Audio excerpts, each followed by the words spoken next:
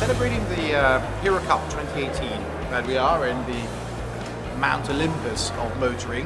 Uh, this is the Royal Automobile Club and they are our partners at Hero. We uh, work closely on a number of events including the 1000 mile trial, um, the RAC rally of the tests and so it, is only fitting that we do uh, we have this uh, dinner here. So we have this year 242 different drivers and 323 different navigators representing 22 different nationalities. Drivers and, and, and navigators rally for 7,200 miles across five countries and eight uh, different events, surviving 202 regularities and 102 tests. And I think it's uh, fantastic that Paul has won after a hard fought battle because at some stage I really didn't think it would make it. And I saw some photographs of the car in this fantastic setting here. Did I realise the enormity of what we'd achieved?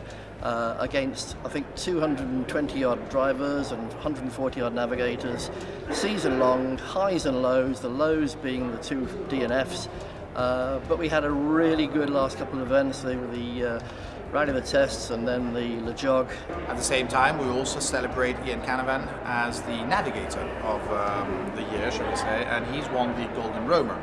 We didn't discuss the Hero Cup or the Golden Roamer from the start of the year to the finish. We just wanted to do the best job we could in the car on the day.